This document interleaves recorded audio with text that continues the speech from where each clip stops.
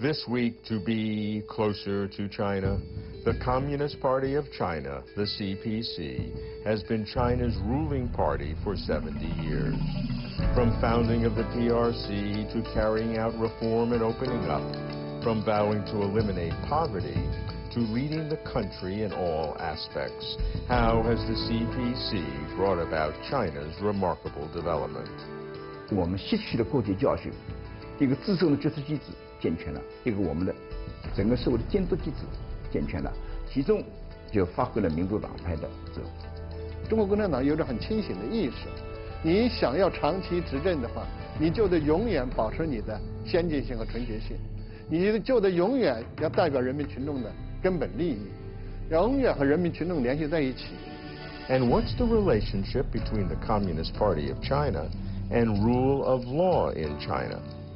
While China still has a lot of work to do in developing and establishing the rule of law, any sober assessment of the past 40 years has to acknowledge the uh, tremendous advances that have been made. 党是个一个组织，法是个行为规范，这两者不能比较的。共产党带领大家制定了法律，同时共产党还带头遵守法律。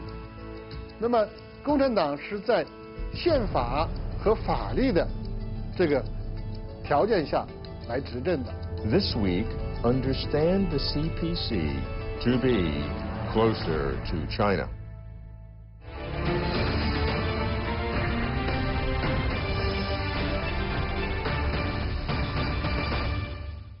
Founded in 1921, the Communist Party of China, the CPC, has been engaged in China's political arena for almost a century, and it has been leading the country for just about 70 years. Most foreigners do not understand the CPC, especially its historic transformation from a revolutionary party seeking power to a ruling party exercising power. China is now at a multidimensional crossroads, rightly described as a new era. Outcomes affect the entire world as well as China, and the only way to grasp China's current conditions and to anticipate China's future prospects is to understand what the CPC is and how it works. In general, it's worse than foreigners not understanding the CPC. Foreigners in general feel no need to do so. This is a mistake because in order to understand China today, one must understand the CPC today. So, if the world does not understand the CPC, then the CPC should reach out to the world. The veil should be lifted. Why has China opted for one-party leadership? What should the CPC be and continue to be the ruling party? How to build party institutions that are self-correcting and can endure? Addressing these questions gets us closer to China. Linxian County, located on the plateau in central China's Shanxi province, has a fragile ecosystem with severe soil erosion. The population of Linxian exceeds 600,000, with a third living in poverty. Zhang Jianguo is the county party secretary. 我们临县呢，根据实际情况提出一个生态扶贫、组建造林专业合作社，让贫困人口参与造林。 这样呢，贫困农户可以参与造林，他可以获得他的劳务收入。Linxian is one of 13 counties under the jurisdiction of Luliang Municipality, a prefecture-level city in Shaanxi Province. 所以必须我们啊，这个五级书记都把它作为头等大事来抓。所以从我们呃来讲呢，就是各级书记啊，都给上一级的啊党委政府立了军令状。The five levels of CPC secretaries are the party leaders at the provincial, city, county, township, and village levels. 我们有八百三十二个贫困县，这八百三十二个贫困县，那么在这个二零二零年前的这个县委书记、县长，这个一把手老大，不能离开，没有完成任务不能离开。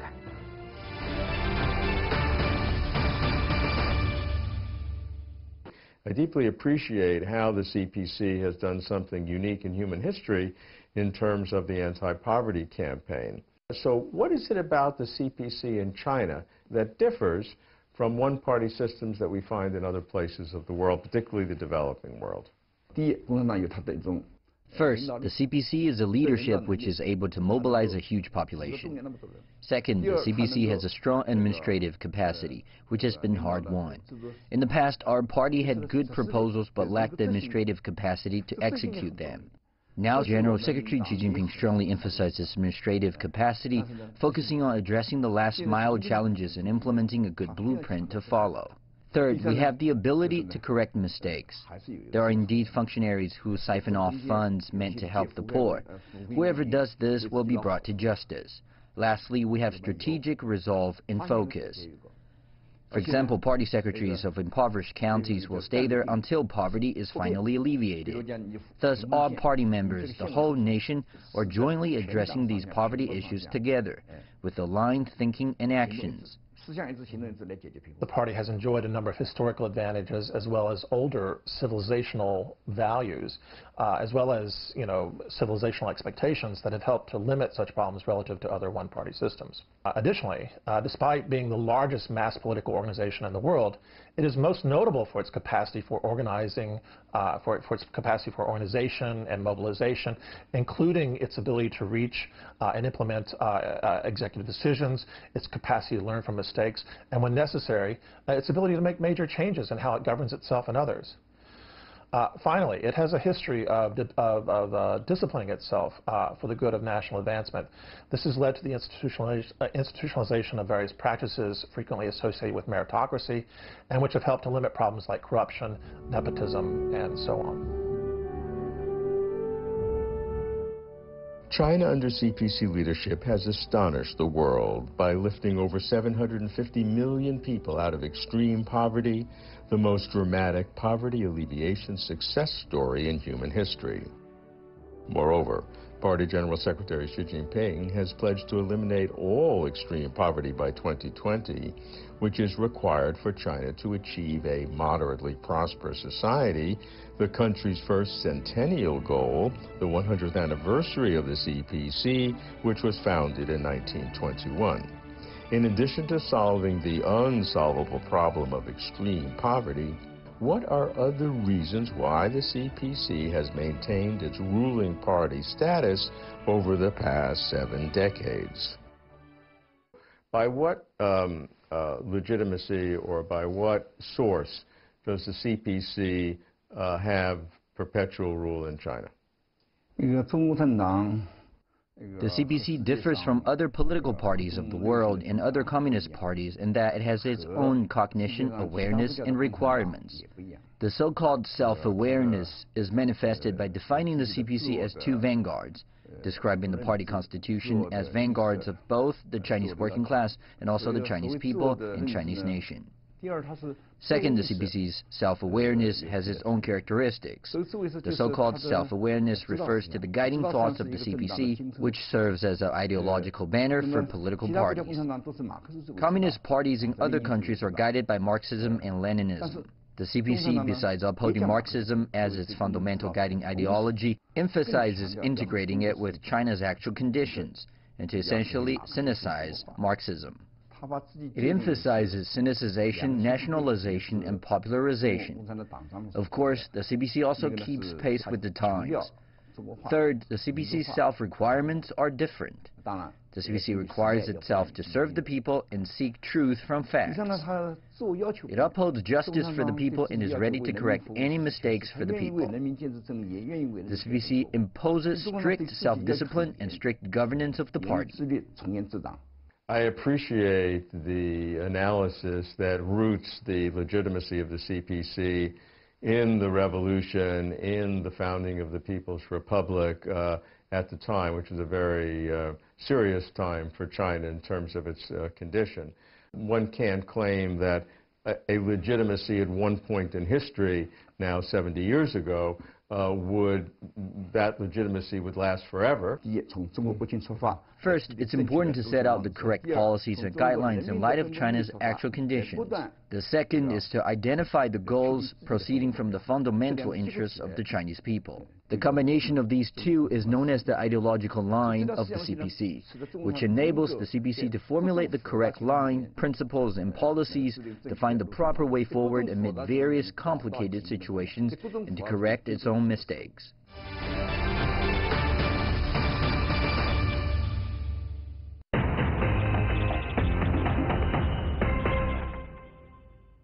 Let me tell you how I answer questions about the party when I'm asked uh, in the West, as, as I am often. Uh, the first thing I say is that when you use the English term party or political party to begin to describe the CPC, you are already in the, in the wrong territory. Because to use the term political party con connotes in Western minds a whole separate system in, a, in the Western political system. And that's not what the party is here by representing all the people. So one analogy I use, it's not certainly not perfect, but one thing I say is this uh, to people in the United States, is that try to imagine that the um, either Democratic or Republican Party had within it all the lobbyists in Washington representing all the different industries, uh, uh, uh, uh groups of all different kinds, all within the same party it, it would be a totally different thing because the lobbyist system in Washington represents collectively all the different interests in the United States. So I, try, I, said, try to imagine all the lobbyists within a, one party, and you can begin to understand what the CPC is. But I always say that if, if you use the term party and political party in the old sense, that was the way the CPC started because, as you said, there were hundreds of parties, so it started that way. But now as the ruling party, especially after 70 years, it has a totally different character. So I said it really should have a different name other than political party. You may not agree, but I'd love to hear your opinion. What I want to tell you is that the concept is evolving and the party is evolving as well. The concept of party itself is supposed to be updated. Like you said, the West defines party or political party based on certain connotations and denotations. As time wears on, however, the party embodies more diverse aspects, and the concept of party itself should be upgraded.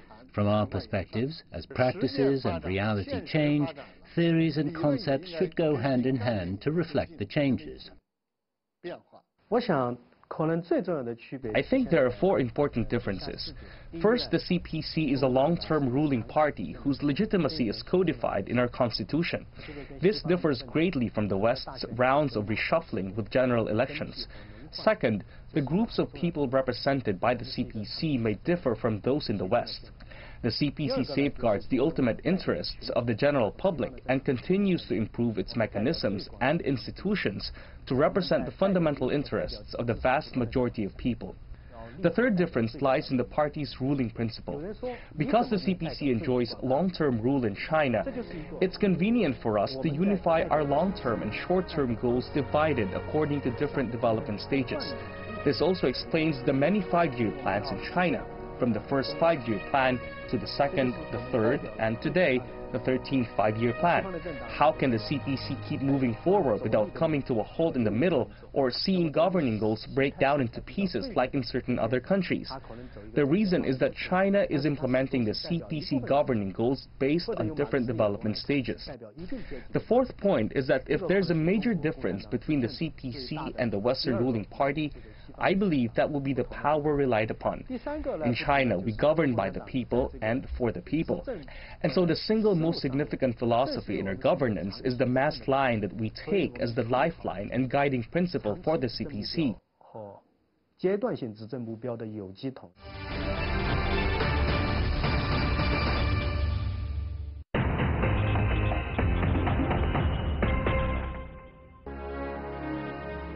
Number 76 Xingye Road, Huangpu District in Shanghai, is a typical Shanghai-style Shikumen architecture.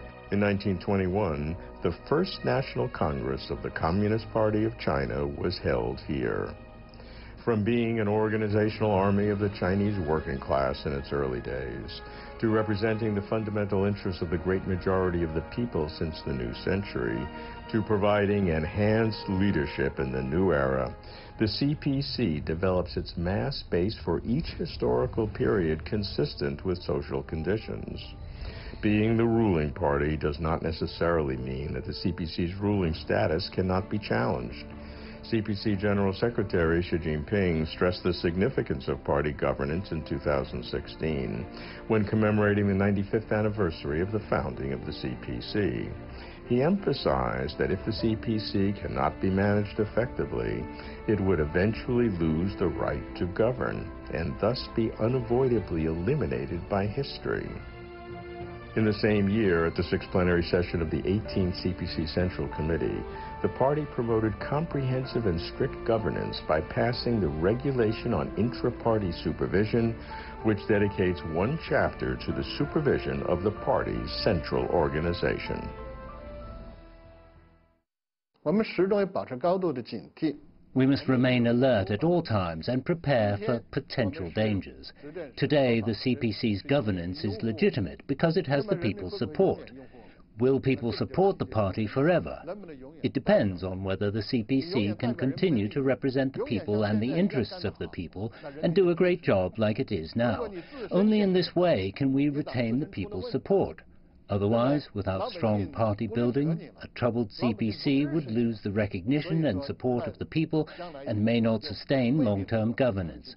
We are soberly aware that for the CPC to sustain long-term governance, the CPC must maintain its progressiveness and purity and always represent the fundamental interests of the Chinese people and keep in close touch with the masses. You mentioned rightly that by correcting its mistakes, the CPC justifies its rule. I totally agree with that. The issue comes of the one-party system that it sometimes takes a lot of time to do that. The uh, Great Leap Forward you mentioned was three years with uh, severe consequences. The Cultural Revolution was 10 years.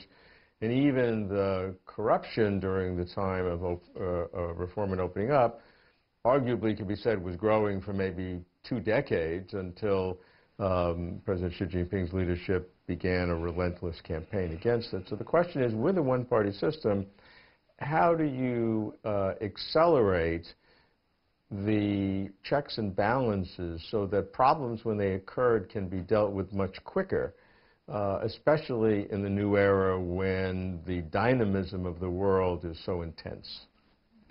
这个问题呢，是我们一直在思考的一个很大的问题。This is a major issue that we have been thinking about. The solution is institutionalization and legalization. The CPC is to serve the people without seeking personal gains. That said, it doesn't guarantee that no mistakes will be made. In particular, the leadership in the party tends to play a very significant role. Inappropriate decisions made at the leadership level would result in big problems and it is particularly hard to correct mistakes from the bottom up. Therefore, we need to improve democratic centralism within the party. Based on research, views are solicited repeatedly before major decisions are made. Over the past 40 years of reform and opening up, before each plenary session and major decision-making, opinions are fully solicited within the party to ensure no fatal mistakes. This is the first point, democratic centralism within the party. Secondly, the political party system is to be upgraded. The CPC represents the leading core, but it is not enough to rely on one single party. China's party system is unique in the world. It is neither a multi-party system nor a two-party system, nor the one-party rule like the former Soviet Union. But rather, it is a CPC-led multi-party cooperation and political consultation. Besides the CPC, we have eight other democratic parties. This is a historical legacy for us. We must use it well and fully engage all democratic parties in major decision-making.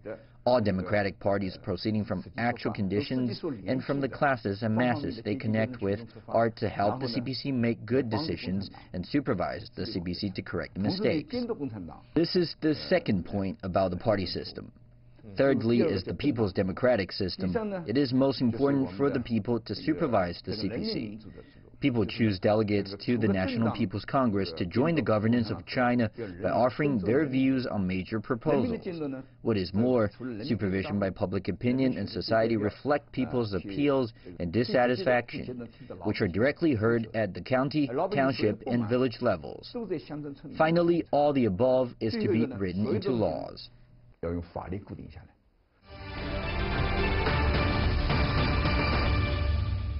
Regarding the anti-corruption campaign within the party, um, I've heard Chinese officials say that the only purpose of it is because the officials are corrupt. Uh, Western media, of course, would say that the only purpose is political struggle or uh, disposing of rivals, etc. In my opinion, conflicts within a party are unavoidable. There is no reason to deny that.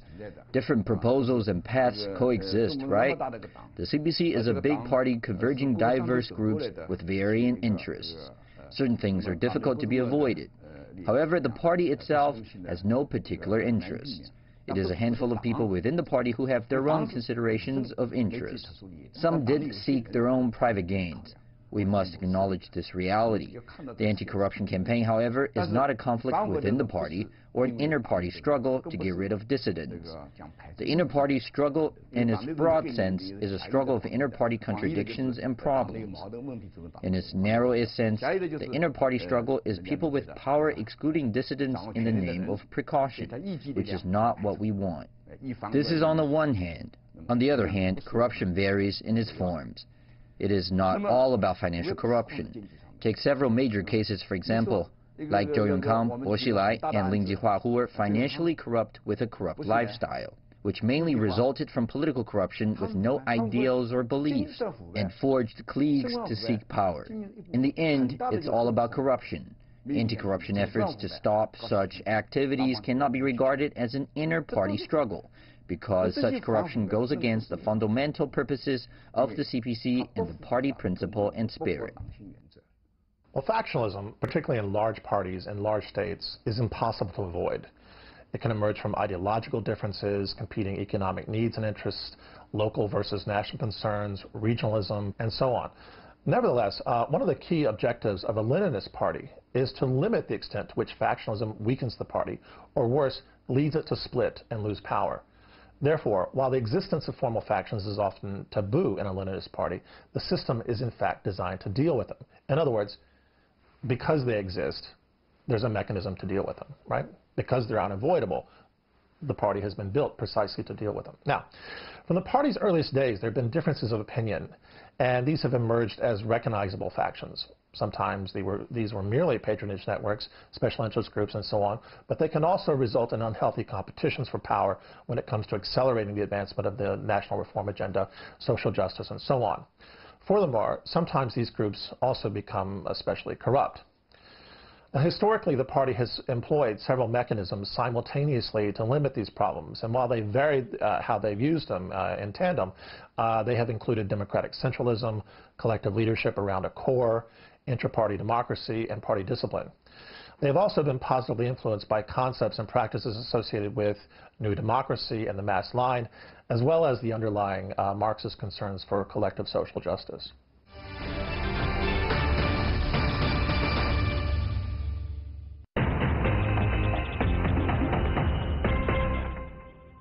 What's the relationship between the Communist Party of China and rule of law in China? The conventional wisdom in the West is that the party is above the law.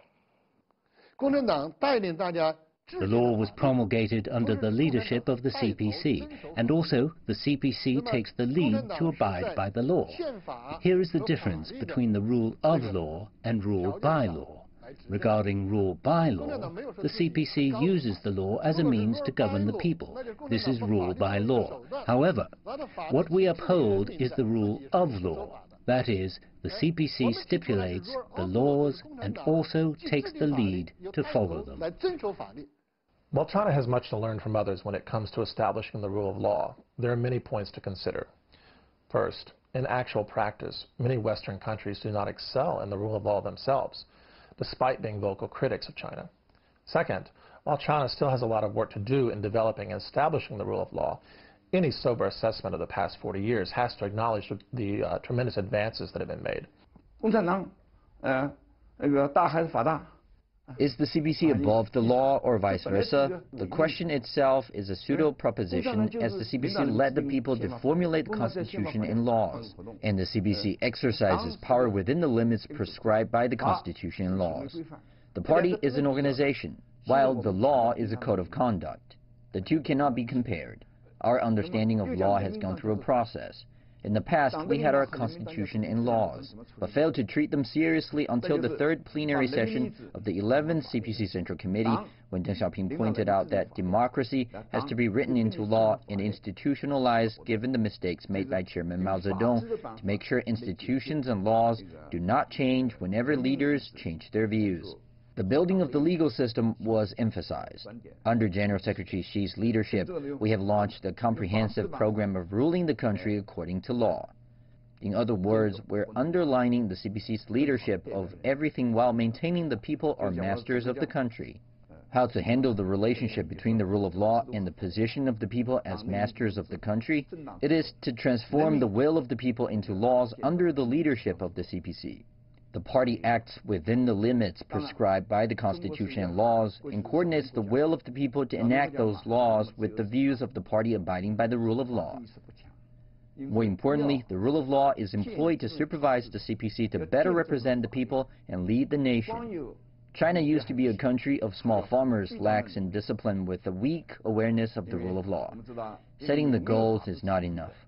We must make great efforts since we know that with a weak foundation, we need to catch up with countries with a strong tradition of rule of law enforcement. We're sparing no efforts to overcome the negative impacts left over by a small-scale peasant country by integrating democracy, law, and the CPC leadership into an organic whole.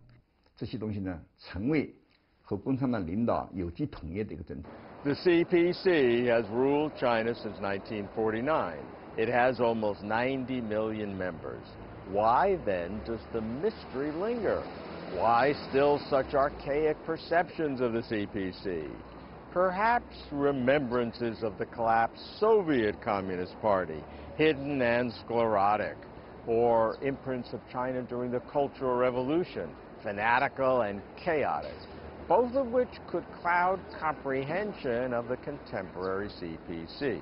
Whatever the reasons, the veil of mystery is now being lifted. The CPC has become proactive in opening its window and its door to the world. Two unambiguous facts confounds its critics.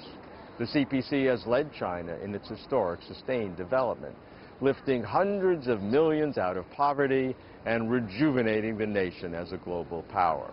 And the CPC continues to be, after 70 years, China's uncontested ruling party.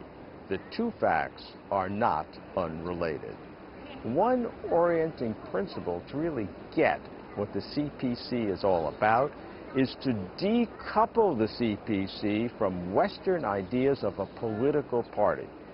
In order to represent all the people, and in order to maintain leadership, the CPC must embed and express within itself all aspects of society, which is no mean task given the complexity of contemporary life. The CPC ideal, then, is national representation and ultimate meritocracy, both in the broadest sense.